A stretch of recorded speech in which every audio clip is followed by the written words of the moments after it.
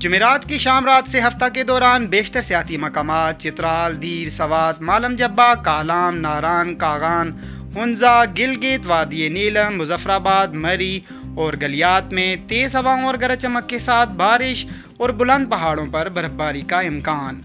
इतवार और पीर के रोज़ बेशतर सियाती मकाम पर मौसम खुश्क और मतला जुजविया बरालूद रहेगा। ज़्यारत और इससे मुल्क का इलाकों में अगले चंद रोज़ तक मौसम खुश्क ही रहेगा।